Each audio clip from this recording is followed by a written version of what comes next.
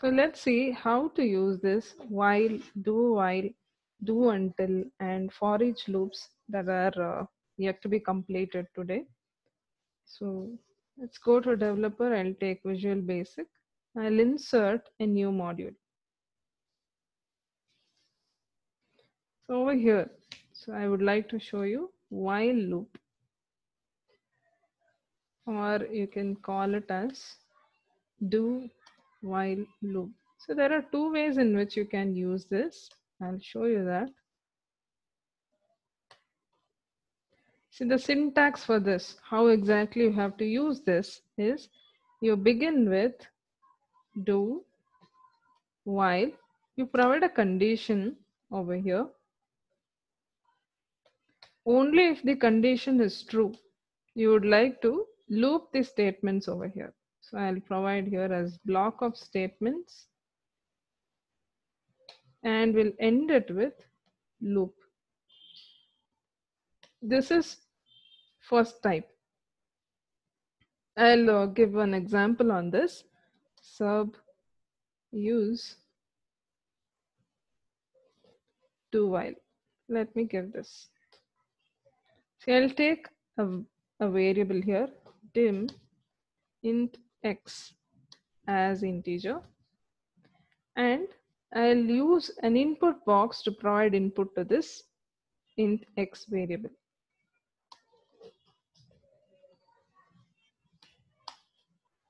So I'll say enter a number. I would like to receive a number as an input over here and while. So I'll start the loop. I'll say do while while the x value, this int x value is less than 10. Okay, you need to increment it. So even before I increment, I would like to display this int x value and I'll say int x equals int x plus 1. I'm incrementing it and I'll end it with loop See, this program is just to show you how these loops work. Okay. The application part will come later. I'll tell you where you can use these loops. See, as much as uh, you have, I have used the macros, most of the times we'll use only this for loop or for each. So in very less cases, we go for do while, do until these things and uh, you need to be really careful with the symbols that you use here plus minus these things. Even a small change of these things will end up in an infinite loop. Your program will not stop at all. So you need to forcefully shut the excel uh, application in that case. So take extra care while you use these kind of loops. Other than for for loop and for each loop you need to be a little more careful while using it now let me start it. I'm using F8 to run it in debug mode. See, I'll enter a number. Uh, anything greater than 10, let me provide. I'll say 12. You see, the condition is false. Index value is 12 and it is not less than 10. You see what happens? It doesn't execute any of these lines because the condition is false. Only if your condition is true the loop starts and it will stop once it again becomes false. So as long as your condition is true, the loop keeps running. Now let me give 5 over here. So it is less than 10. So it will start looping. So it displays 5. It increments to 6. Then it will show me 6. So if I keep running it this way, it will show me 8 9 so once it reaches 10 it will stop there. We have not provided equal to 10 so we have said the number should be less than 10 so once int x value reaches 10 the loop stops. So the loop stopping condition here is the uh, int x value should reach 10 see this is one way of applying this do while loop.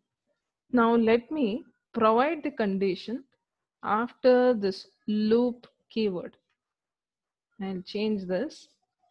I'll create a copy of the same. So I'll just exchange the location of providing the condition. So this is also do while loop only. You see the way it differs in functioning. Okay, so do while I'll give two over here to change the macro name. I'll cut this condition and I'll put it here according to this syntax. So now let me again use F8 over here. See int x value, I'll provide 22. So it will execute. It will display the value. It will also increment. But now you see it is checking whether index value is less than 10. If it is true, the loop will continue. If it is false, it will just come out of the loop. You can see it jumped to end sub now. Now let me again execute this. This time I'll provide a value less than 10. I have given 7 for int x. So you can check the value over here when you place your cursor on the variable. So it says 7. 7 will be displayed. I'll again check the condition now. Int x value, is it less than 10? It's true. So it will continue. It will continue this way until it is equal to 10. So once it is equal to 10, it will not show me. So it will show me only till 9 over here. Okay. So this is the second method. See wh when you should be using it, I'll tell you. See the first condition you can see, if your condition was not true, it never allowed you to execute the lines inside the loop at all. But in the second case, it will allow you at least once. The difference is in the first case, the condition is checked in the beginning of the loop itself. Only if your condition is true, it allowed you to execute the loop. In the second method, you saw that the condition is being checked at the end of the loop. So in the beginning, whatever lines you have provided, it will execute once, even before checking the condition. So once your condition is false, so it will not go further. That's when the loop will stop. Right? So next, let's see another loop. Its name is do until loop. Do until loop. So it works in the opposite way of this while loop. While loop will execute only if the condition is true, but until loop will execute only if the condition is false. So let's show you this. So you begin with do. Until is again a keyword. You will provide a condition over here. And you'll provide the block of statements after that. And you'll end it with loop. So let me give you an example over here. So I'll, let us take the same example that we checked for while loop here. I'll change this to do until. So I'll change this one as well. So we provide until over here. And I'll change this to minus. So you need to check this. F8. I'll provide a value greater than 10. Let me give a smaller value, say 13.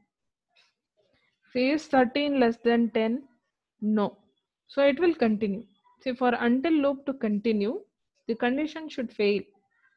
So it keeps on looping until the condition becomes true. Okay, so that's how this until loop functions. It is the reverse of your while loop. How exactly your while loop functions, it's the reverse of it. Now let me run it. You can see here. That's the reason I am using the subtraction over there. So now you can see it's it's 13. Now it will reduce to 12. You can see 12. again 11 10 also is displayed next 9 so 9 is less than 10 this condition became true so it stopped the loop until loop works in this manner. Now let me show you the second method. Same way how we had it for while loop. Even for until loop you, you can apply it in two different ways. Either provide the condition in the beginning of the loop or you provide it at the end of the loop. Anyways it will work. But check the scenario how exactly where you want to provide uh, which type of loop.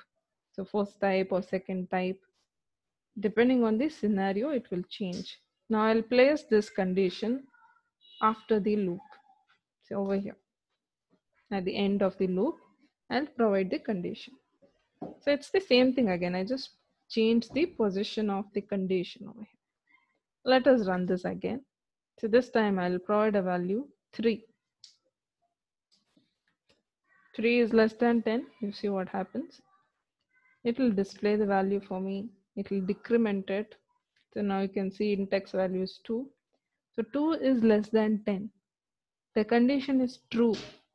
So the loop will stop. It will not continue. For it to continue your condition should fail. So it keeps on looping until your condition becomes true. So this time let us give 14 I'll run this again. 14 it will reduce and it will display me 13 it will reduce and again display me 12 so it will display me until it is 9 and once it becomes 9 it will stop the loop. So that's how do until loop functions so we saw do until do while so I also told you when we don't have any specific number of times to run the macro, when we are not sure of it, we only have a condition to check as to when the macro has to stop, the loop has to stop. That's when we are going to use do, do while or do until. Now, I'll be showing you the use of for each loop. This is a special kind which is used to loop through objects. So whenever you have set of objects to loop through, that's when you go choose for it.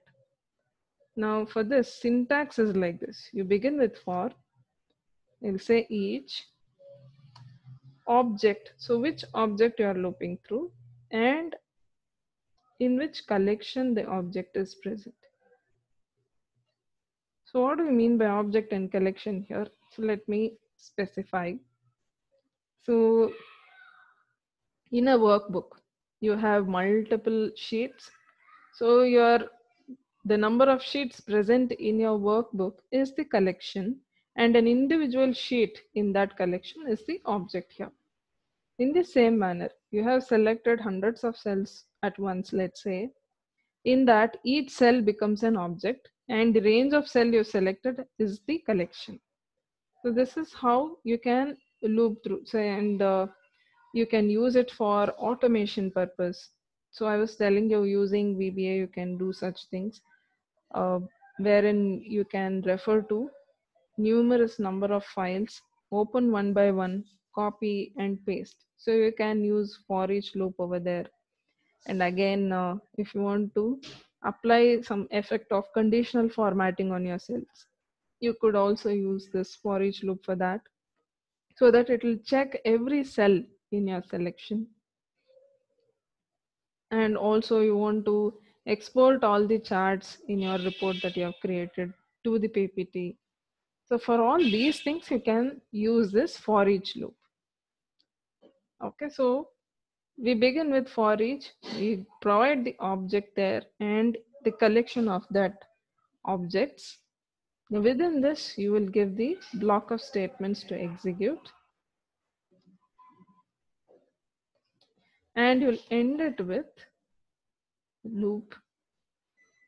I'm sorry, next and you'll say object. So this is how for each loop has to be given. Now let us take an example to execute this. Now here in sheet 1, I would like to provide some numbers. I'll use rand between function to quickly generate random numbers between 150 to 900 let's say or let's give 1000 I'll copy this and paste it as values so that I, I don't see any changes in the numbers later. Now in this selection, I would like to highlight all those numbers greater than 500 in blue color. Let's say I have a task of this to perform. Now if I have to do this, I should check each cell over here and I when whichever cell satisfies the condition that I have provided, that cell should be colored to blue. So let's see how to achieve that using for each loop. I'll say sub. I'll say color cells 500 something like this so first of all I need a variable to store the object and I also need a variable to refer to the collection of those objects.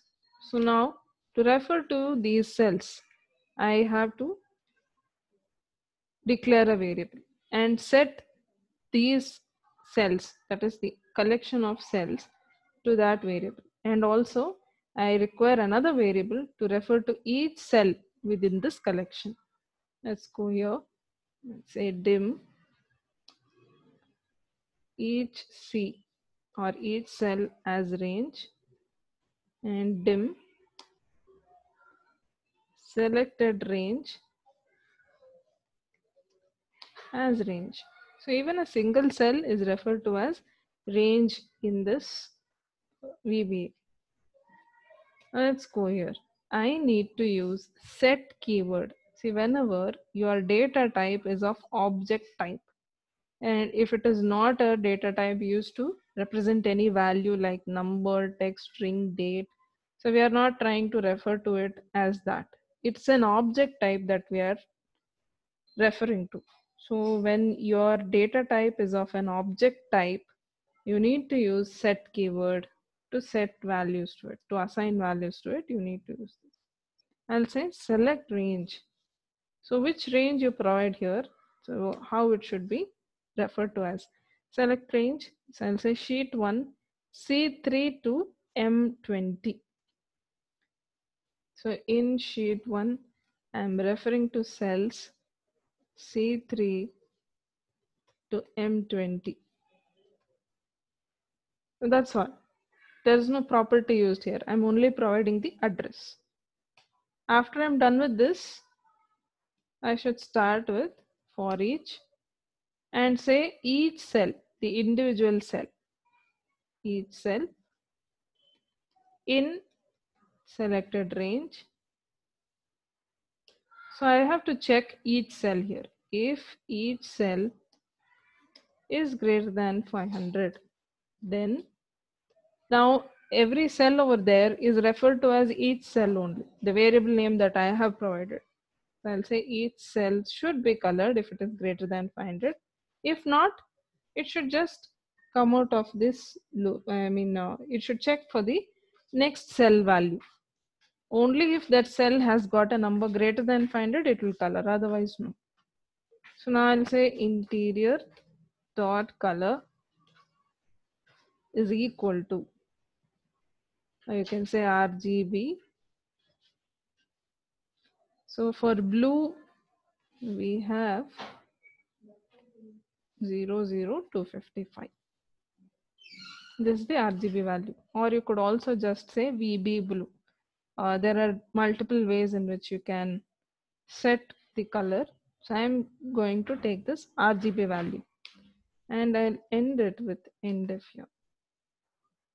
Only if the cell that is lo getting looped has got a value greater than 500, then color it. See, I also missed a property here. I'm checking its value. I need to provide dot value here. After this, you should not forget to close the loop. Next, each cell, the object name has to appear here. Now let us run using F8. See, we, it has taken the range of cells C3 to M20 in sheet 1. Now it takes every cell in that range that we have selected. See, what is the each cell value? 867. Let's check. 867 is the first cell value. So it is greater than 500. Now let's see whether it's going to apply the color. You check, the color is applied. See, I can see the font color is not visible to me. So what I can do in the program itself, I'll also change the font color. If the condition is true, I also want the font color to change to white. I'll just say 255, 255 and 255. When you give this, this is the white colors code here. And I can also drag it back like this. So I want this line to execute now. Again press F8. Now check. So let us run again. F8 this value is greater than 500 so it's oh i'm sorry. This should be font color. Now we can check. The font is white the background is blue. So you can apply such changes here. So next cell let's see which cell it takes so this cell value is 728 so it will go by this order it will first navigate through all columns and then it will come down to the next row. So it will check all the numbers that are available here in this manner and it will color all the cells whose value is greater than 500. Now let me run this through F5. You can see the change here. All cells which are greater than 500, only they are colored in this manner.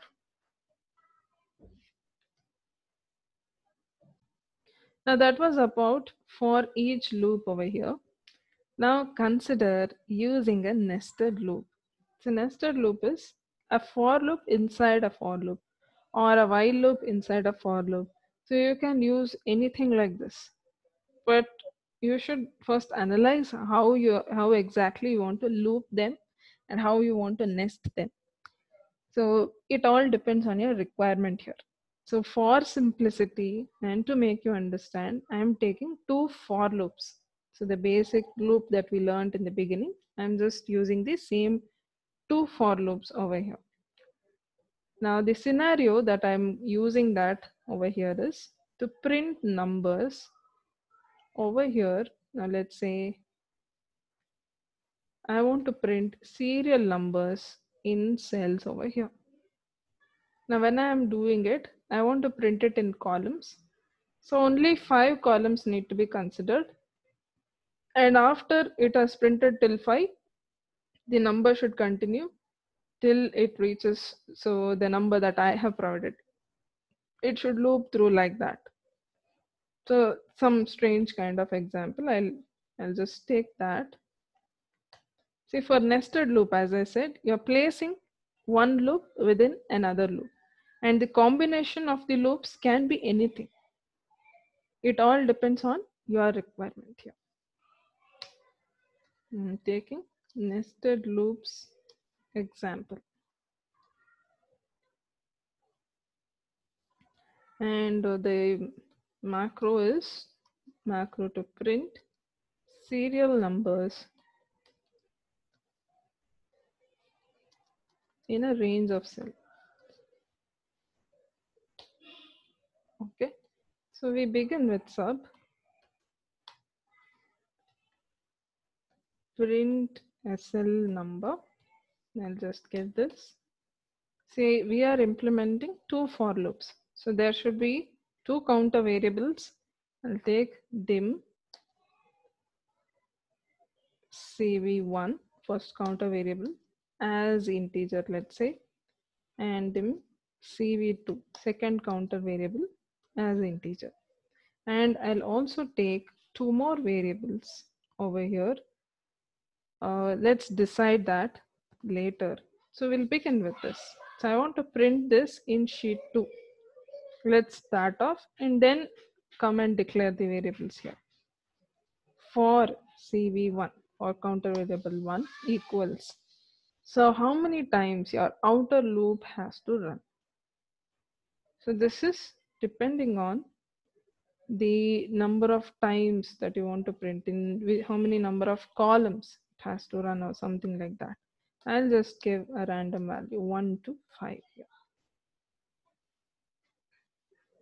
and within this I'll again provide another variable cv2 equals 1 to 10 over here. Okay? So I need a variable to increment the row number only to take part in incrementation of the row. So I'm saying mm, row let's say int row something like this because row is a keyword. I can't use that as a variable name. I'll say this is as integer.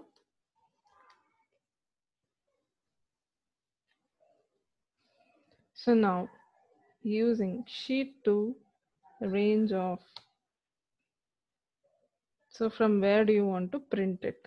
You give a column value and say C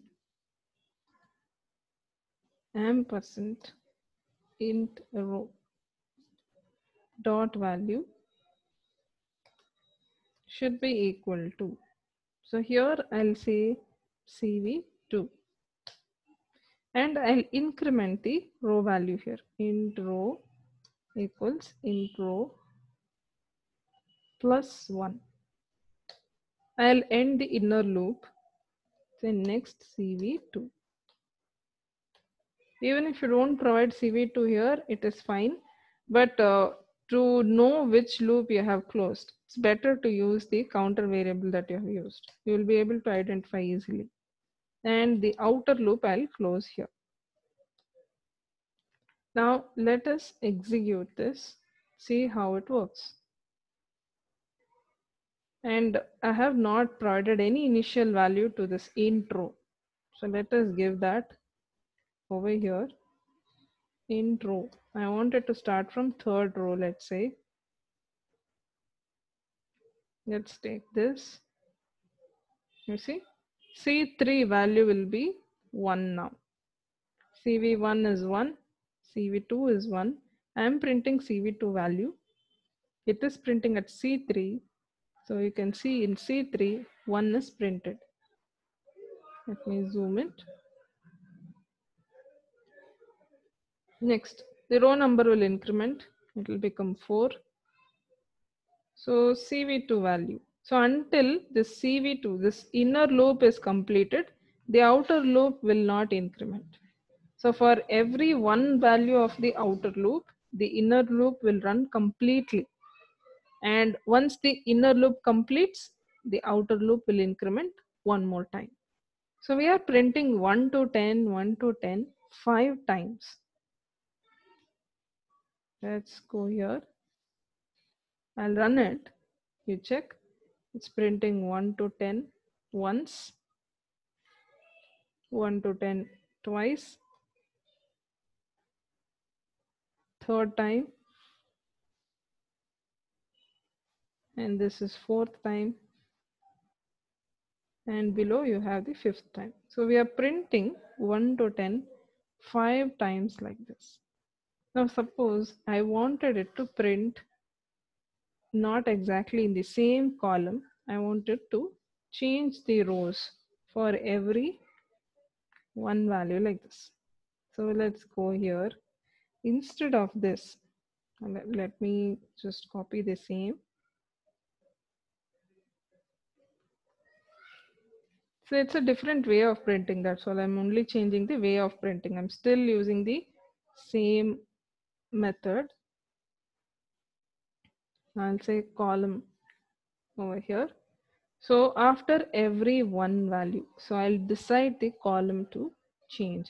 So after 1 to 10, so the next row should change. So what I'll do, I'll remove this. I'll say cut from here. After the inner loop is run, the row number should increment. Until then, the same row number should be considered. But the column number should change for every iteration of inner loop. So here we'll consider another variable to change the column value and say int column. Int is just to indicate it is an integer type variable. That's all. And uh, we can also differentiate it from the keyword column and row. So I can't use row here because it's a keyword. Variable names cannot have keywords here. So when you're using both cell uh, column value as a number and row value as a number, we can't use this range. Say it's an alphabet that we are using here to indicate a column. We cannot in increment alphabets, but numbers can be incremented. So when you're using both row number and column number, you're using cells here. This is another way of referring to your cells here. So it will ask you to provide row index. Row index is int row. Column index, and say int column. So we are printing from third column again, that is C column. Now if you want to change the column, it's left to you. So let's take from fifth column. I'll just mention that here. int column is equal to 5. Fifth column. And for every iteration of the inner loop, the column value has to change for me.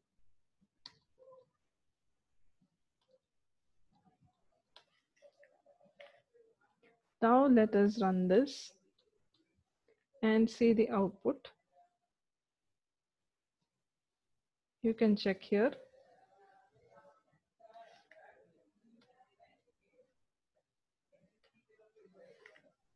Let me change it. Let us check what's happening exactly.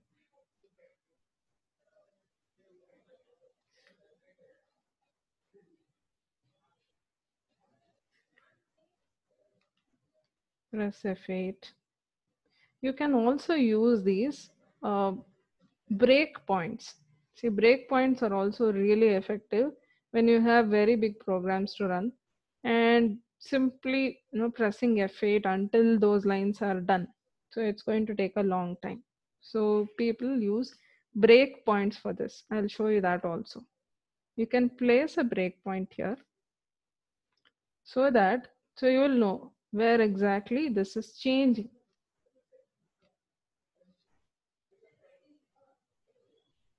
Fine. Now I'll press F5. It will run only till these lines. So it would have printed 1 to 10. So I again wanted to start printing it from the fifth column. Since I did not provide the column number as 5 here inside this. That is the reason it is taking different columns altogether. So I should always initiate the column number inside the first loop. It's the outermost loop. So then it will again start from the fifth column only. If I declare it outside, it's taking next to next columns and it's going on like that. Though it is changing the row number, it's not starting from the fifth column. So you can debug such things when you are in the debug mode, when you are executing your macro in F8. This is, these are the advantages. Now let us run now. Now we have got the desired output. So it is printing till 10. Five times it's repeating the same thing. So you can also go this, go execute it this way. Now if I want to print serial numbers, as I said, so there is no stoppage like this. 1 to 10 and again it's starting from 1 to 10. Not this way. I want to continuously print the numbers that I provide here. How to do that? Let us see. So this macro will show you how to print the values continuously. So not like the one that we saw. Now let us run this.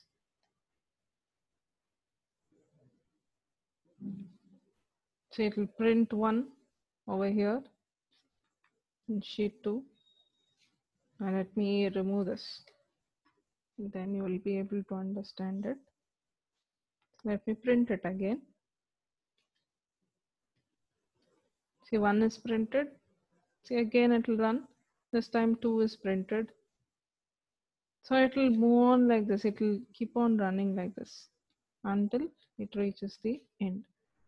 See we have got till 50 now suppose I want to stop printing once the value is 35. I want to stop printing. I want to exit the loop.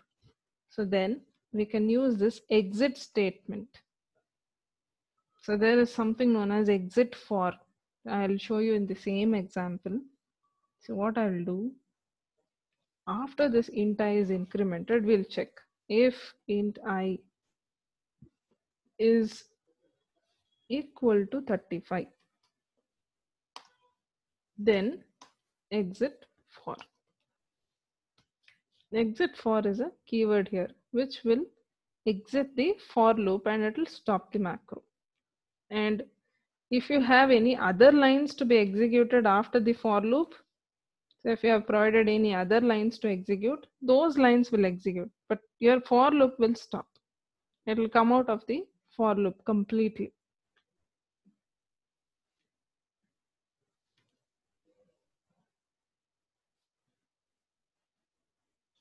So let us clear from here.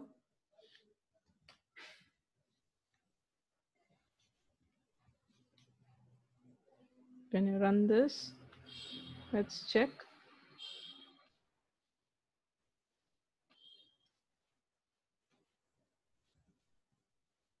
So you need to add an exit for over here also.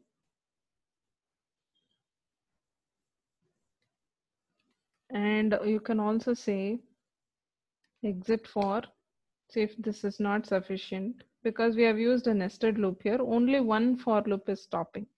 I also want to exit the macro. Let's say you can also say exit sub here and i'll close end if. So this time if you run it you can see here it will print only till 34 so this was the previous example. Let me delete it. I'll again execute. Still taking it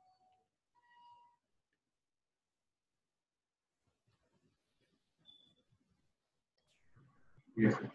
okay so so this is how it will stop at 34 once it is equal to 35 it will stop at 34 and it will exit the macro itself.